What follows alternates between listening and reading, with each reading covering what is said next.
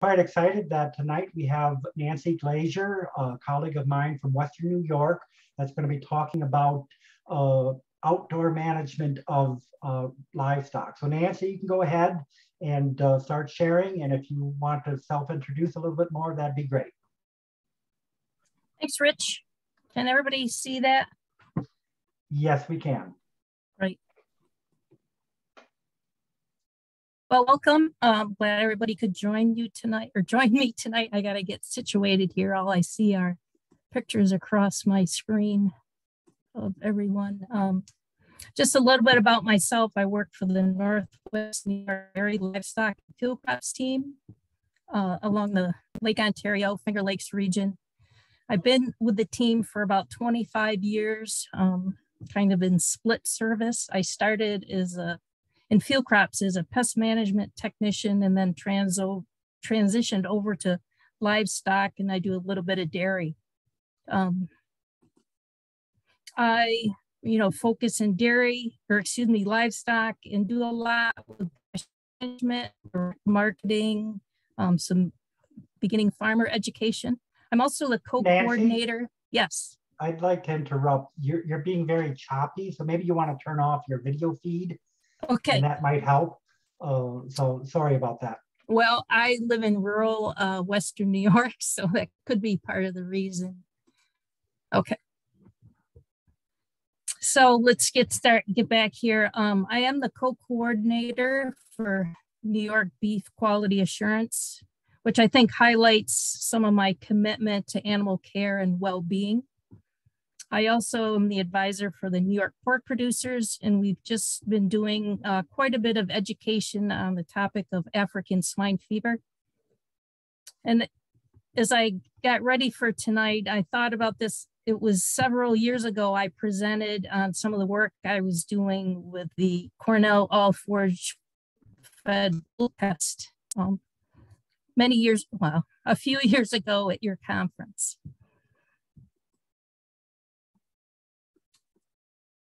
Let's get this thing presenting here. My slides aren't advancing real great. So kind of a, just a rough idea where we're headed for the evening. You know, why are we talking about some winter outwintering animals, just a little bit in nutrition because that's an important piece with outwintering in cold weather. What kind of sites, windbreaks, um, feeding pad options, other feeder options, in water. I like to focus on that a little bit just and say, um, you know, there's requirements for animal food, water, and shelter. That water component is really what drives the intake. But I'd like to have some discussion at the at the conclusion. I guess if you have any questions as I go along, you can enter those in the chat and, and Ben will stop me and we can kind of get things clarified. But I am sorry that we're not in person tonight because that's when some of our best discussion occurs when we're all together and that farmer to farmer sharing is really, really important. Um, I've learned a lot over the years from farmers. You know, I learned a little bit from my education, but the real education comes with working with farmers.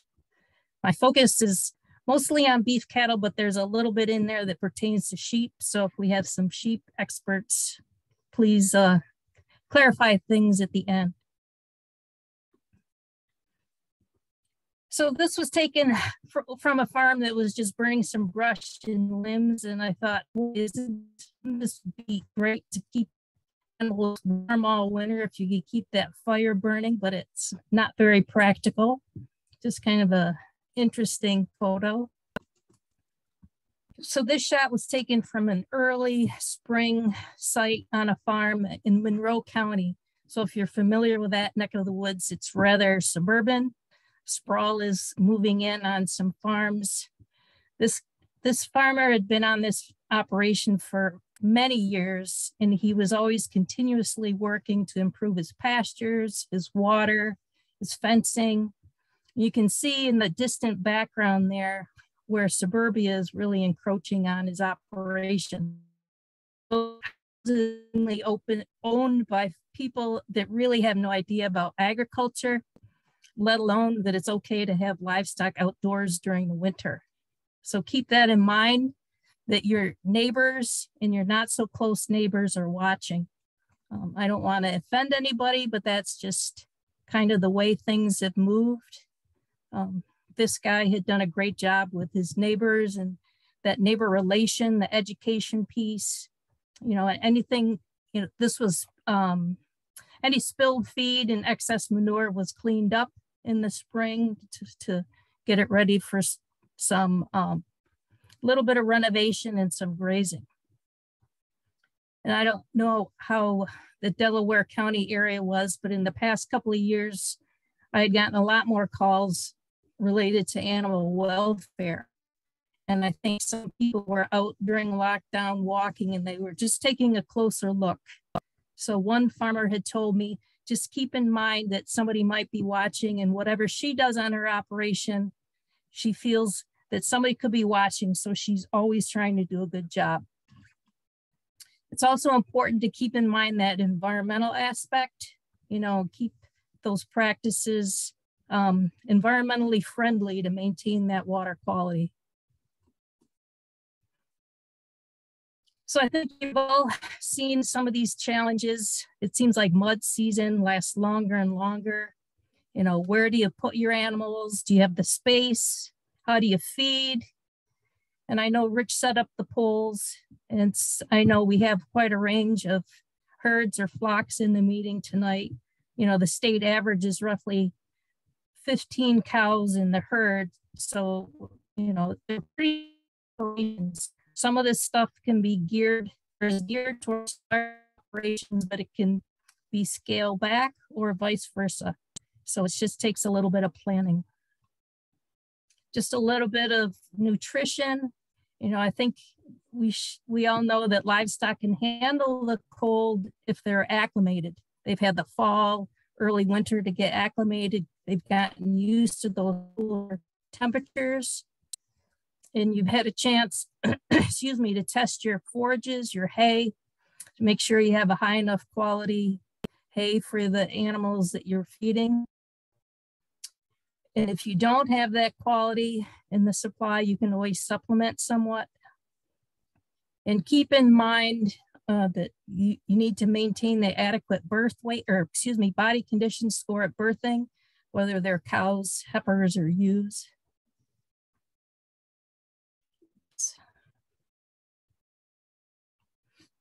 This is just a, a slide showing you how temperatures and intake are impacted. Um, livestock have that thermal, thermal neutral zone and, you know, intake and maintenance requirements stay fairly steady. Tonight, since we're focusing on winter, you know, we're gonna look at the cold side here. You know, an intake really doesn't change a whole lot, uh, but the maintenance required goes up, maintenance requirements. So animals need more of that energy from their intake just to maintain their bodily functions. And there may be less uh, energy available for any kind of production, whether it's uh, lactation, gain, or gestation. So it's not really shown on this graph, but if the weather gets too cold, intake may drop if your animals kind of bunch up or huddle up. They stay together and they don't want to go, they don't want to leave that group to go feed.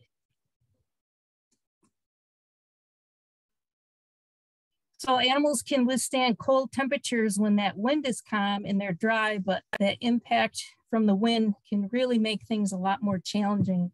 Makes it challenging for you and your animals.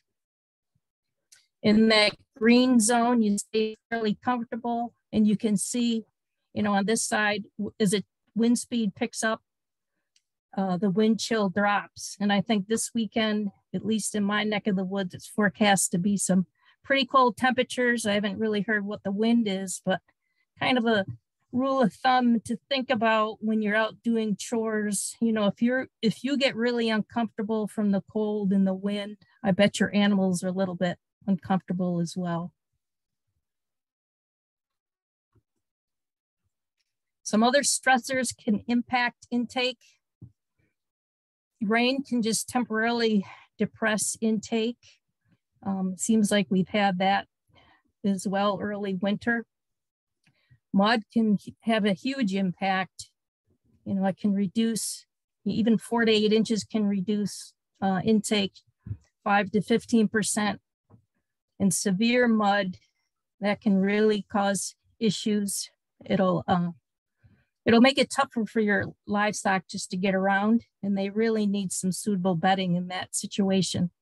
I've actually visited a dairy, or excuse me, a beef farm that had lost a cow from being stuck in the mud.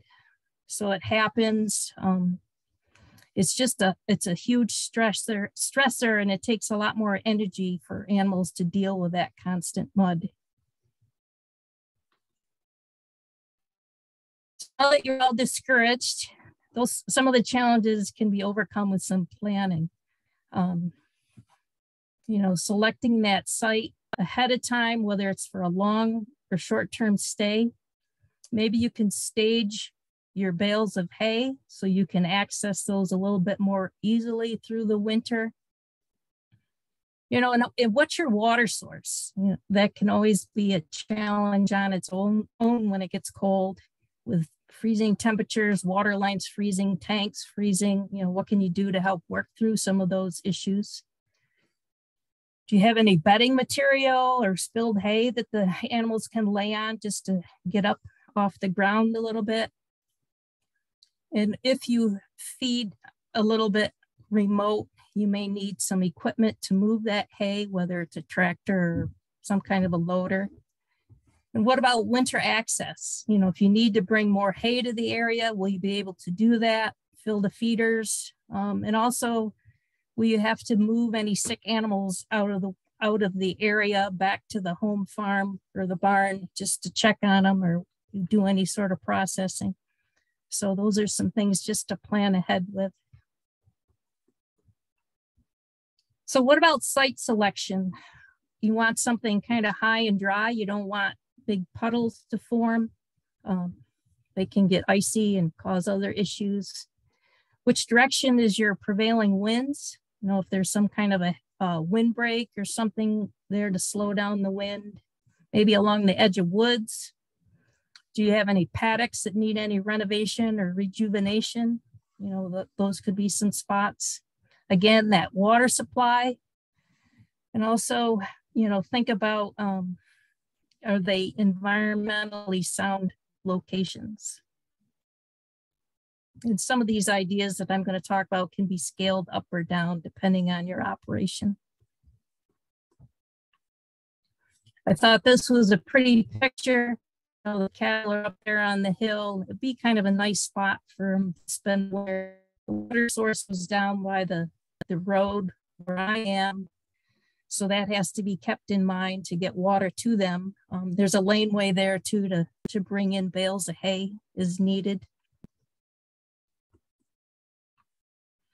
So I don't know if anybody does any out wintering out on crop fields or pastures that are kind of run out and need to be uh, like a complete renovation or something. If it's a cornfield, the uh, grain then leaves and stalks will be eaten, but it's kind of a short-term fix depending on how, or a spot depending on how many animals you have. Um, the manure and any, if any uh, hay is fed out there, any waste hay that's already out there in the field for fertilization. You want to make sure you stay away from any sensitive areas. You don't want any runoff con, uh, concerns as the weather gets warmer or any snow melt. I took this in December so that you can kind of see a little bit of snow on the cow's back. So they're fairly comfortable that snow is kind of on their backs. Um, disadvantage would be if you had crop fields and you didn't have fence around it. But just depending on what class of animals and how um, docile they are, they are, you might be able to get by with a strand of fence on the perimeter but you do need to have other feed available if uh, there's limited amounts of crops out there. And another option, uh, you know, maybe you could graze some cover crops. If it's not too deep of snow, you might be able their cattle might be able to dig down or even sheep dig down a little bit to find something to eat. Compaction can be a concern too, depending on the conditions and how long any animals are out there on the fields. Stockpiling, I think the grazing season, but it could be an option at least to get started through the winter, winter depending on how many acres you have available. Uh, this is where you can take some maybe excess acreage and beginning in August, stop grazing it, and then uh, you know see what the fertility is. If you could soil test to get a handle on that, sometimes a um, little boost with nitrogen fertilizer will really increase that stockpiling. And then you don't start grazing it until after the growing season is over. So in this shot, you can look where that heifer is behind the fence. It's been grazed down pretty short and trampled. And then in the foregrounds, that hasn't been grazed yet. And the, if the snow isn't too deep, deep, you know, your animals can get down there to, to graze. If once it starts to get crusty or icy, that makes it much more difficult.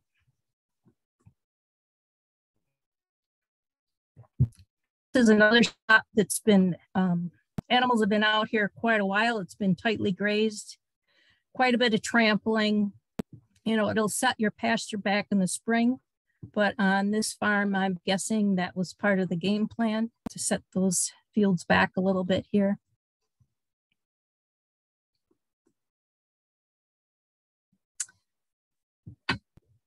So how about bale grazing? Um, the bales are placed out in the pastures late in the fall as the conditions allow. You know, you separate the bales um, by fences and you can kind of allocate by the number of days that you estimate that can be fed on those bales. I'm thinking with the current fertilizer prices, any wasted hay might be even more valuable out there on the pastures to help improve that fertility. It can cut your winter labor down if you uh, had the bales out there ahead of time. Helps with some paddock rejuvenation. And I did find out um, this week that there is a conservation stewardship program through uh, the Natural Resources Conservation Service that will help with some bale grazing practices. So a downside, what will you do if it gets thawed and really muddy? You know, you don't want to really damage a lot of pasture area. And move them off to a sacrifice area so you don't really destroy your paddocks. This is a follow-up shot from the uh, following grazing season. That's nice and lush there on the top left corner a lot of the regrowth looks pretty fertile right there. And then the lower left side, that was uh, in the fall after some bale grazing. I hope you can kind of see the spots out there in the paddock. There was a spot there and there and there. You can really see the boost in that field there from the fertility of the wasted hay and even some manure out there. Um, the rest of the field or this part of the field in here looks a little bit yellowish. Excuse me. Uh, and then on this right hand side, this was from two years after the bale grazing. So it's really gotten pretty lush out there in that field.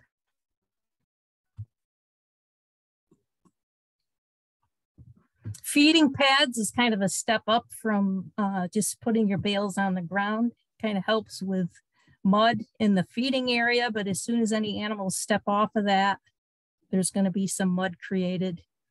This is kind of, this is a, a permanent situation. You know, you have to come up with a spot that's going to be maintained. Um, they can be concrete or stone or even asphalt, I've seen. So this requires some planning and site work so you can site those in a good spot, size them to, to fit the needs of your animal herd or flock. Um, this bottom right hand side, that's kind of a higher end spot, you know, higher end pad. Um, this was uh, from a farm uh, in the Chesapeake Bay watershed, and it was within miles of the Chesapeake Bay. So they were pretty concerned about runoff or any water quality issues there. On, on this site, the animals can feed on both sides. There could be a fence there to divide it up, so it could be two separate groups feeding. The hay was uh, rolled out in the center aisle. Any runoff or uh, when they scraped these pads was put down in the, the far end here. Any leachate or effluent was caught and it was um, filtered out in a kind of a terraced area over here. They did have 150, or excuse me, 140 cows on this operation and they had two of these pads set up, but they had kind of thought um, after they installed them that they might have been better off with some kind of a barn with a, a roof overhang, which in that picture you can kind of see the roof line there. And that would have been a spot too where you could set up um, a covered feeding setup there, which for the size of the operation, it would be a little bit more practical than a, a small herd or small flock. So chip, I don't know if anybody's heard of that one. Um, I kind of think it's more the Cadillac of feeding pads. I didn't really look at the prices of any concrete or asphalt, but this is kind of a newer system. And it is, um, it takes some design and site work and it needs some annual maintenance as well. So the pad has uh, several inches of wood chips in this layer and then the next layer is some drainage stone. And then this is a compacted uh, sub base. And it does have drainage tiles to, to carry away any leachate uh, off into a, a filtered area, grass strip.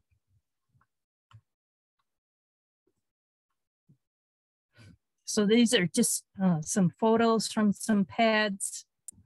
And the, the upward end of the cost on this would be roughly $920 a cow, which I, this was a, from a few years ago. So it's kind of pricey uh, depending on how many you have, but these animals are pretty comfortable. You know, there's no mud, no mud whatsoever in this. Does require annual maintenance. A couple of inches of the chips kind of need to be scraped off with any manure, uh, and then they need to be replaced but it's just another option. If you, you have a large enough operation, you know, it may be more beneficial than making, making a bunch of mud somewhere else. So wind, wind breaks are important. So just slow down that wind and help with the, any wind chill factors. The guidelines state that uh, wind breaks need about an 80% blocking of the wind. So if they're uh, completely blocking that wind. The wind can go up and come, come right down or go right around. And there's a shorter distance there, protection behind it. That helps reduce the livestock bunching up right up against it. And it can help keep the air moving too, just on the health side of things. So these are just a couple of examples um, from Nebraska. You know, hedgerows are a good example of this done in different farms. edge of woods can work as a as a, a windbreak, but I'd really like to see uh, limited access to the woods. You can't really see any fence in this photo. Uh, any forester in this uh, meeting tonight would greatly appreciate to keep the cattle out of the woods. They can do some damage um, to the woodlot and tree destruction or damage. This is just taking advantage of a natural hedgerow. Um, this farm has sheep. They have a, a hay feeder here, and then they roll out some hay in this spot here. Um, this gives it the sheep uh, some bedding as well. So what they don't eat that they can uh, rest on, lounge on, just to stay a little bit more comfortable. And this was uh, a windbreak I saw on a farm, and I almost think that the farmer that I took the picture on is joined the meeting tonight. So it, it, he can chime in later if he wants and give some feedback. And I thought this was a pretty cool option, um, something to bit that you could build with some rough cut lumber. You could scale, you know, up or down, however you needed for your flock or your herd. What I don't recall was what the support was on the other side. You know, you don't want something that the animals are going to tip over. You know, an option would be to set this on the other side of the fence so the cattle wouldn't have access to and get rough with it.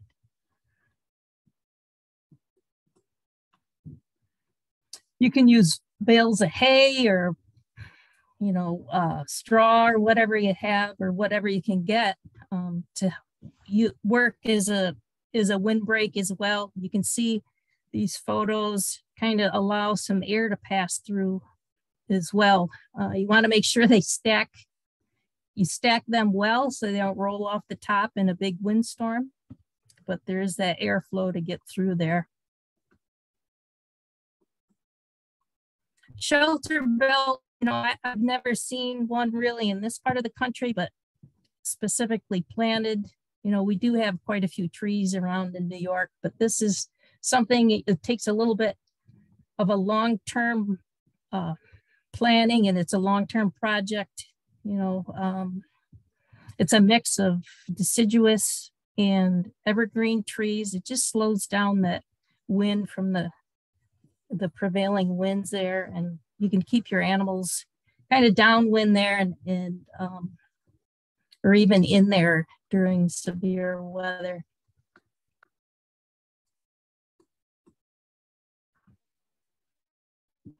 A bunch of different kinds of feeders that are out there. And sometimes it comes down to what's your personal preference, what you have equipment to handle it with. The one here on the right, I just kind of want to highlight, you kind of get what you, you pay for. You know, if you buy something cheap and uh, sometimes your especially cattle will get kind of rough. But these, some of them do a better job of um, conserving hay. This cone shaped one here, there's less waste to the hay and they estimate it's about 5% loss with those kind of feeders. Um, if they have a metal bottom in them, the waste can be about 13%. And then without any bottoms, the waste is about 21%. So this one on the left, I, I've seen those. I thought it was kind of interesting. It had the cover on it. It was kind of that cone shaped. So that might be a, a good option to try. But again, any any waste can uh, be used for bedding or it'll add to the fertility if you have it out on pasture.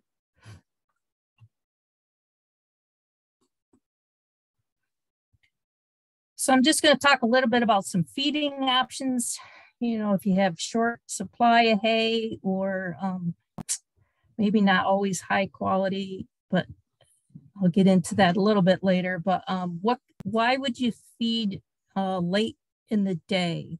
I wish we were all together and I have somebody answer that, but um, lots of times you'll feed in the morning before you go to work. You know, you do your chores early.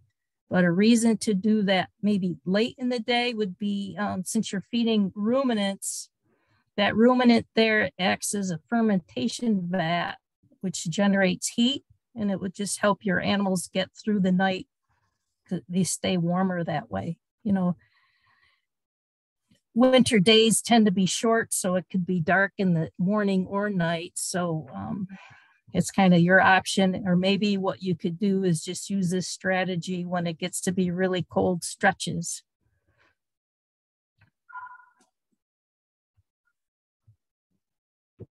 Yeah, my phone's ringing. Uh, sorry. Uh, what if you have some different quality farm? You know, there's options that what you could do with that. Maybe feed that poor quality early in the winter, you know, and save that higher quality uh, for the colder times. And I'm hoping that everybody does test their hay to get a handle on that quality. Another idea might be to feed both hays at one time if all livestock have access to both hays. So they have kind of a, a mix that they can kind of choose from. If you have enough hay out in space so all animals can access it, those more dominant ones um, will allow the timid ones to get a chance to uh, feed if the space is if the space is limited they'll cause issues. So limit feeding i don't know if anybody's heard of this approach but um, you have to really use some careful management. The cows are need to be in adequate body condition and they're only they're limited to feeding about six hours a day.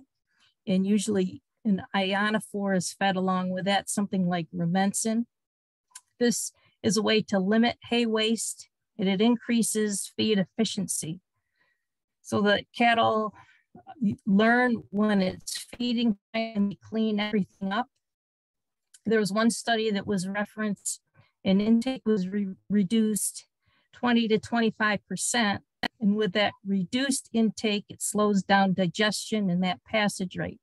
And this is, again, you really need to forage test that hay that you feed to, to know that you're, you have a high enough quality that you're feeding and you won't have a train wreck with um, body condition loss on your animals.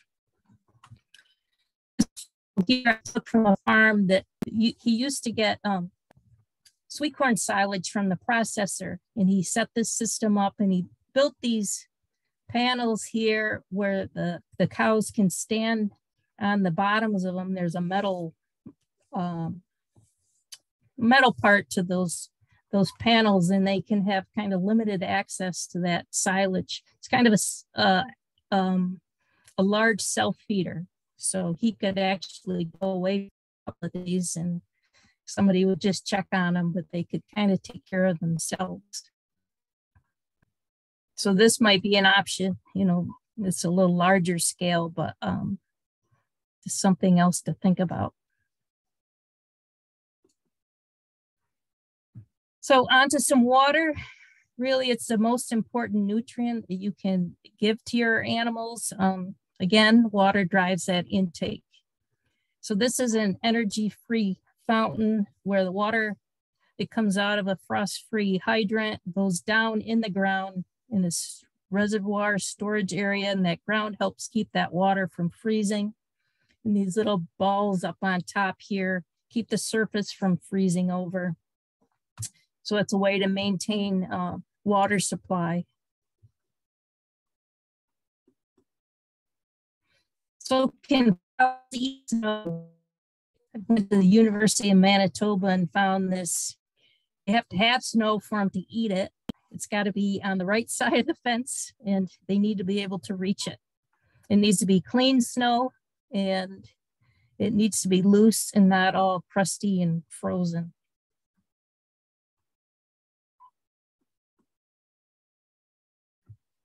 I took this from a farm. I, I, I'm not quite sure if it was designed for water use, but I thought it was kind of a cool way for a place for animals to stand next to the water tank. You know, that way it doesn't create all that muddy, mucky mess. You know, it could be used year round and it helps to reduce the compaction around the water tank. So it was kind of light on the water side. I'd like to hear what everybody does. If anybody has anything else to share, but, you know, in summary, it's really important to monitor the weather so you know what's going on and what to anticipate, what to expect. Provide some wind protection. You want to maintain an adequate body condition the best you can. Have some bedding available, whether it's spilled feed or bales rolled on the ground or even straw or something else available. Supplement the feed as needed and always provide that clean, fresh water. So if you're looking for help, I think your local extension office can help, whether you're in Delaware County or your local office. And uh, there's um, Natural Resources Conservation Service, the Soil and Water Conservation District. They're very helpful. And there's also some cost share opportunities for uh, conservation practices if you're looking to improve things on your operation. There's uh, university resources, and also, I found some great resources on YouTube when I was looking up some information. So with that, kind of open it up for any questions or discussion.